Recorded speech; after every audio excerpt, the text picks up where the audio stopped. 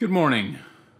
Before I go to the gym, I kind of wanted to give you an overview of how I'm feeling at the moment. From doing two competitions to now back on the diet once again to compete in another two competitions over the sort of next 24 days. Generally speaking, I probably would call myself a bit of an optimist. Um, I tend to try and look at people and see people in a better light than maybe they even are. Um, or to put a smile on my face even when things are, are tough and difficult. I'm not one of those like weird optimists. What a great night. I have to tell you, being here with all of you in event room C. Take a mental picture of you all. Click.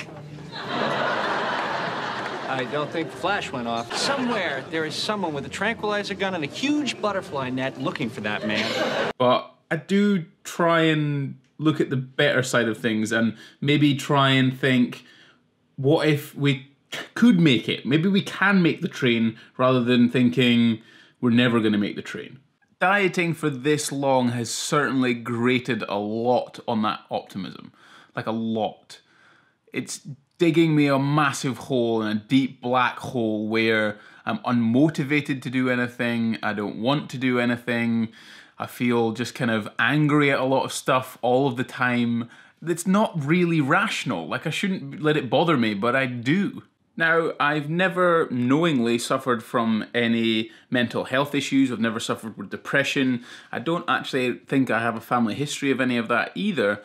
But at the moment, it feels like this weird dieting depression, like really low, and it's just pushing down on me with all this pressure. And it's hard. It's really hard to deal with and hard to motivate myself to want to do stuff. After having all that pizza on Sunday, I felt so much better. On Monday and Tuesday, I was like a different human being. Even Laura would probably be able to tell you the difference I was after eating all of those calories. And I wonder, I do wonder if this whole dieting thing and being extremely conscious of your diet, extremely conscious of your training all of the time, and I'm sure there's people out there that are like that. Certainly, maybe obese individuals who have lost a lot of weight and they continually think they're dieting all of the time.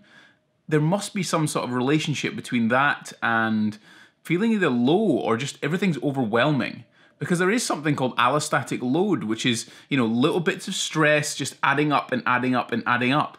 And having that dieting stress on top of you, of everything else from financial stress to work stress to just all life stress, that's really hard to deal with. And I'm struggling to deal with that at the moment. I'm lucky I've got these vlogs where they kind of almost this tripod and camera and microphone becomes a person to talk to and it's also great that I can share it with you guys and I get some amazing messages from people out there and it's it's wonderful certainly from the highs of competition where there's the encouragement and even the encouragement when things are tough. I don't want to think or make you think that this is a moan about anything or that I am really really sad or depressed at all. I'm not. I'm just trying to sort of put it forward about how I'm feeling in this current state. There really isn't much there really isn't much to go in terms of dieting. It's like 24 weeks, it's three weeks. I've done all this time now. I'm gonna keep going and get it done. But please bear with me if these vlogs aren't necessarily as entertaining, as fun, uh, as expressive as they have been, but it's just getting tough.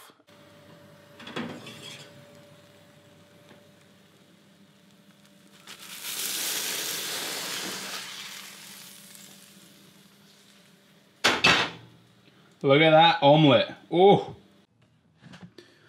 That was a shockingly good omelette. So I was chatting to Johnny yesterday and he was like, oh, you know, I had loads of omelettes when I was dieting and I thought, I really fancy some eggs. I've been wanting eggs for ages. So uh, I popped it into MyFitnessPal, worked out it was pretty good. So I had five egg whites, one whole egg. Uh, I had peppers, a yellow pepper, red pepper, some mushrooms, an onion, tomato, protein cheese, and I found these little flatbread things that I'll show you here. Uh, where are they? So these little things are actually really nice. 10 grams of protein per wrap, uh, 184 calories, 3 grams of fat, 2 sugar, doesn't matter. Uh, but really nice, very, very good. So they I had that underneath uh, with the omelette and then my protein's protein cheese on top. It came to a hefty 600 calories, But fat was relatively moderate, 16 grams. Protein was about 50 or 70 odd, and carbs were about 50. But I am stuffed after that, and I'm really satisfied. So that was actually really good. So yeah, have an omelette. Training session was okay. Uh, yeah, it was all right. It was legs. Did leg press, barbell stiff-legged deadlifts, some seated hamstring curls, some leg extensions, and some calves. Kept the weight the same, so it was like 400 kilos in leg press, 130 on stiff-legged deadlifts, 67 and a half leg extensions, 65 hamstrings, and then like 40 kilos on the calves. I'm now gonna get ready, get showered, head into London. I've got two clients, two clients this evening, and Tom's nephews are joining us this weekend, which is gonna be cool. Get to see them, say hello. They're nutters, by the way, so look forward to seeing them on the vlog.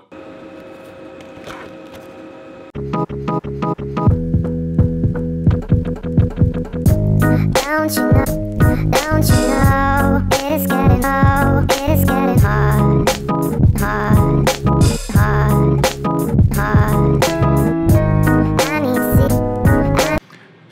a little salad from Marks and Spencer's. Uh, they definitely do the best ones. Like there's loads of little big packets, which I've taken some chicken and rice with me because I forgot to do some vegetables. So that's for tonight's dinner. I've got a couple of clients to get through tonight. Get home. I am having massive export issues with my vlogs. My airbook now has run out of total memory. So me and Neil are going to try and sort something out. Not really sure how, but we're going to do something. So hence why I'm probably gonna have to upload a lot of these vlogs, probably twice a day or even three times a day to catch up, but I am vlogging. I am doing everything and keeping up to date with them.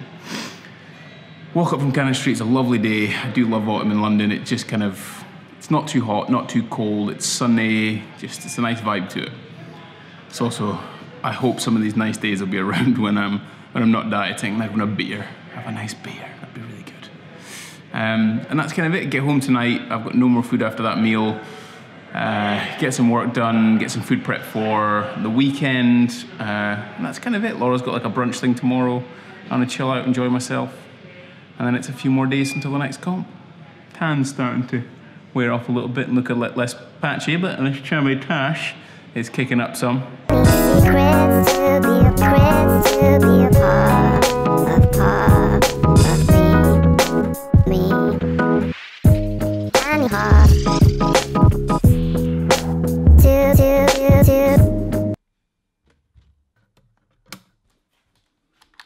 little bit of food prep all done for the weekend. Just getting organised, to be perfectly honest. Got home, did some emails, some programs and work and things. Watched a little bit of TV. Quite fancy going to Japan actually. Quite nice. Vlog issues definitely holding still. I mean, my computer's just really old and I need to, to upgrade it. Apple, I think, are going to come out with a new one in October, but I have to wait until that comes out. So I'm going to have to find a solution to this. I'm vlogging every day, but I can't export the vlog. Oh well. So today is day 165, episode 165. Done.